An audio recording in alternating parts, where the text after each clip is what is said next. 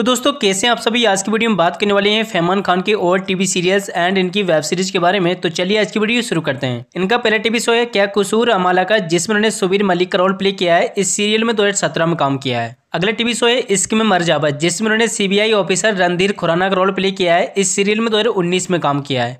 अगला TV show है मेरी डैड की दुल्हन, जिसमें उन्होंने रणदीप का रोल प्ले किया है। इस सीरियल में दो हज़ार उन्नीस से दो हज़ार बीस तक काम किया है। अगले टीवी शो है, अपना टाइम भी आएगा जिसमें उन्होंने डॉक्टर वीर प्रताप सिंह रजावत का रोल प्ले किया है। इस सीरियल में दो से दो तक काम किया है। अगला टीवी शो है इमली जिसमें उन्होंने आर्यन सिंह राठौर का रोल प्ले किया है। इसमें उन्होंने लीड रोल प्ले किया है। इस शो को दो से दो हज़ार बाईस तक किया है। अगला टीवी शो है, जो कि प्रेजेंट में चल रहा है, प्यार के साथ बचन धर्म पत्नी, जिसमें रवि रंधावा का रोल प्ले कर रहा है। इसमें लीड रोल प्ले कर रहा है। ये शो दो हज़ार बाईस में स्टार्ट हुआ है, जो कि प्रेजेंट में चल रहा है।